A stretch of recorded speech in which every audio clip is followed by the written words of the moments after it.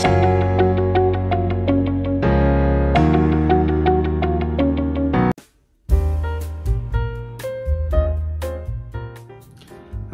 my name is Trevor and this is my video on typical working day during my internship.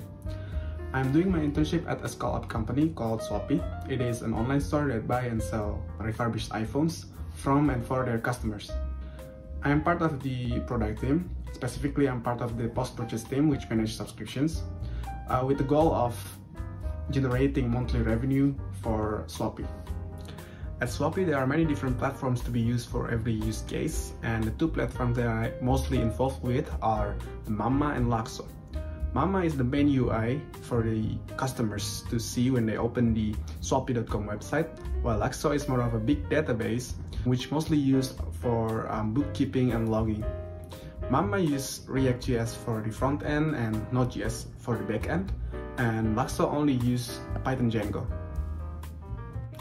One thing that I really appreciate from my experience as a software engineer intern at Swappie is that they treat me as a full-timer. And the skills that are required to do so are coding skills, software development, software testing, and software architecture. There are also soft skills such as problem solving and how to communicate within a team, especially uh, to non-technical users because sometimes we couldn't really translate what we are saying to the product team, for example. And also how to properly work in a team. Swappie works in a quarterly way, so every three months we set a goal on what we aim to achieve on the next quarter. And within a quarter, we generate some user stories based on those goals. And then we, we do a one week sprint where we try to complete these user stories by generating small tasks that can be assigned to one person.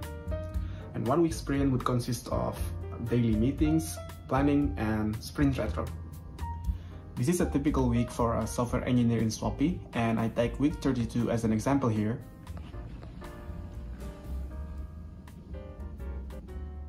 So on Monday, I would do traffic light meeting where we give our confidence level on how achievable our goals are for this quarter, given our current progress and numbers.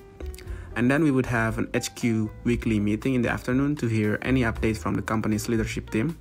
And then we would have planning if needed, otherwise we just do our task if any. And Tuesday, Wednesday, and Thursday, there's nothing special except the daily meeting every 10 a.m. And I usually have a one on one meeting with my internship mentor on Wednesday. And Friday is for sprint retro. We evaluate our task and see any plus and minus and actionable points. And then we would plan for our next week in the afternoon.